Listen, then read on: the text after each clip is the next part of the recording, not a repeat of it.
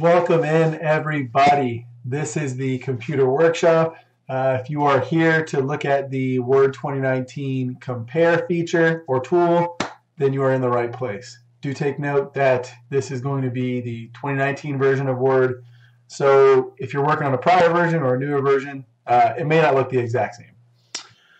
Uh, next thing is I will be your guide today, Andy Daly, and I'm an employee here at the Computer Workshop. So this will be real brief. It'll be real brief, but uh, it'll be a very important tool that we're going to cover that you know is maybe a little lesser known, um, and the the ability, the effect that it will bring to you uh, is is uh, very valuable. So we can see here we've got two files two files, Word 2019 comparison feature and Word 2019 comparison tool.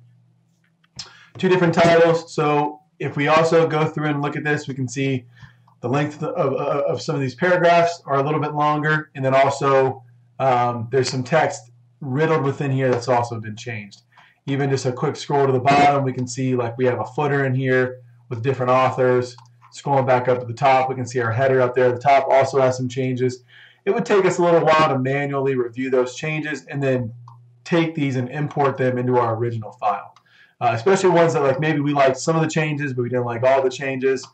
It can take a little while to do that manually. Fortunately, Word gives us the option to do this automatically. Uh, it's you know we still have to manually review some changes, and that's an important thing. Uh, that's an important feature uh, that you know we want to make sure we're we're doing that correctly. Uh, but We'll break that down when we get there. For now, all we have to do is select the Review tab. I should also note, make sure you've got two files that are of similar origin. Uh, so you can see here, this file uh, on the left is our original file up there at the top. The one on our right is our revised copy.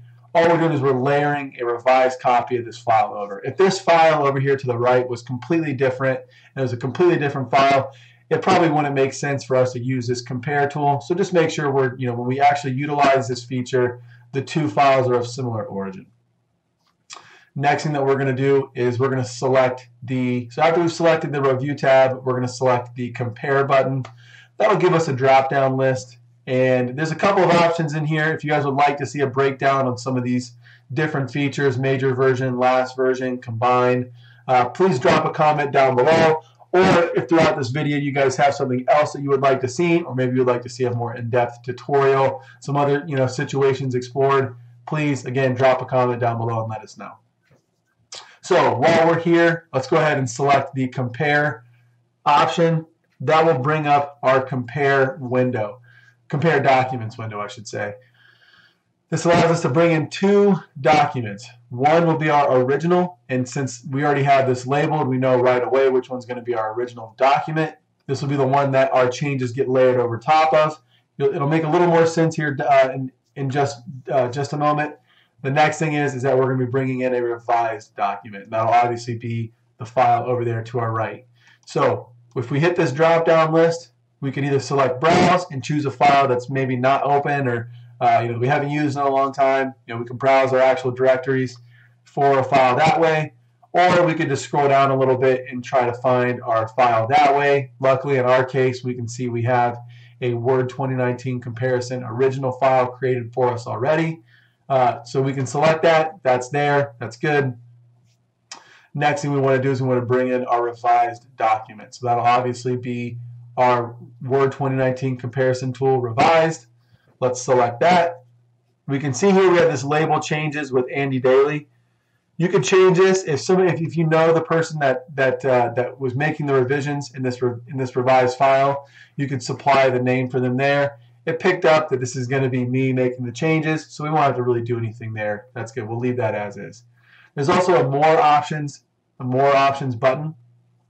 If we select that, we'll get a couple checklists that we could, you know, that we could that we could customize this comparison feature a little more with. We could choose to exclude headers and footers, footnotes, endnotes, text boxes, fields, all that stuff. If you want to see a more in-depth breakdown for that, we could absolutely do that. Again, please leave a comment down below if you would like to see a more advanced tutorial. For now, we're going to stick with just a real basic one, just introducing you guys to this, and we're going to select OK.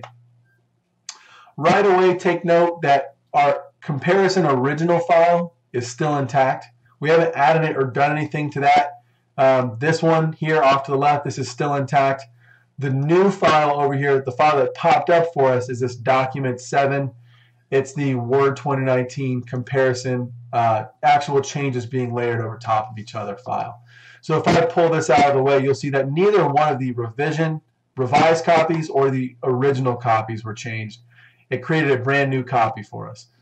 So let's go ahead and expand this. And real quick as well, for you guys, there will probably be a um, a set of two copies. So like your original file and your revised file over here to the right. It allows you to just quickly browse what's being contained within each of those documents. Nothing of the utmost importance, so you can go ahead and close out of those. There'll be a little bit of an X on each one of those panes there. You can go ahead and close out of those if you would like. Next thing is we can quickly see we've got a couple of strike throughs, some red text in our document.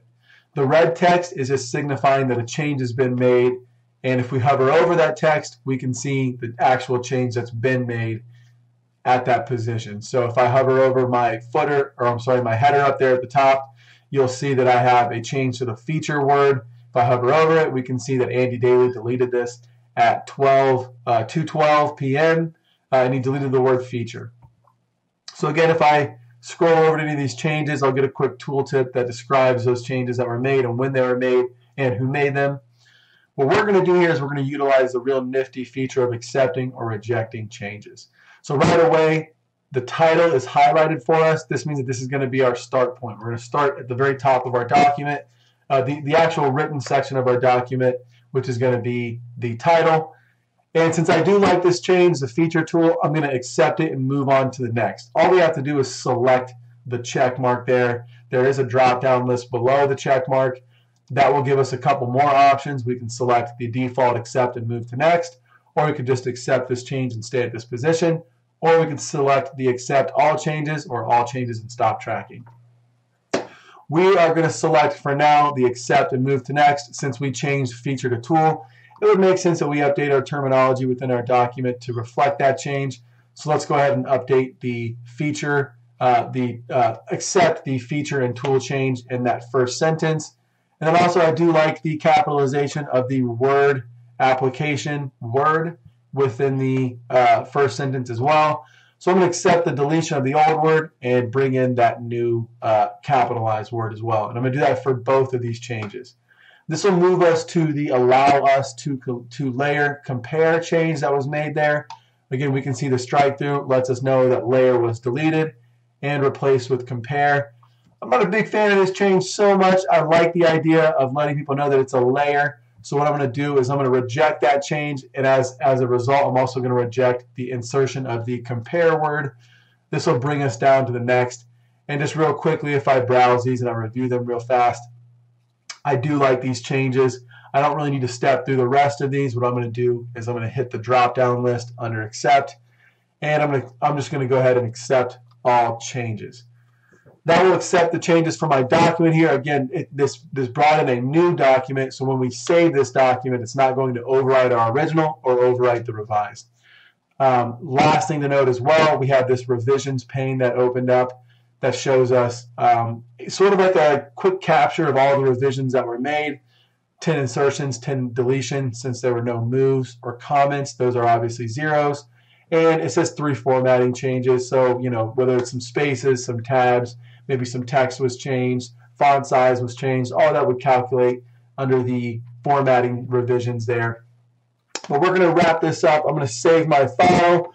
Again, since this is a new file, we're probably going to want to name this something um, unique. Since this is the completed version, I'm going to name this. I'm going to throw the completed word. Um, I'm going to add that to my file name, Word 2019 comparison tool completed.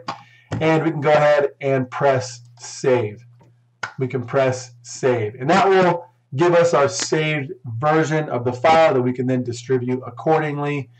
And that wraps up the compare feature. So please like, comment, subscribe. If you guys would like to see any new features, uh, we will absolutely get on those as quick as possible. Just let us know what you would like to see in the future.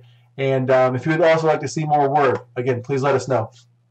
Thank you, and thank you for stopping by as well. Have a good day.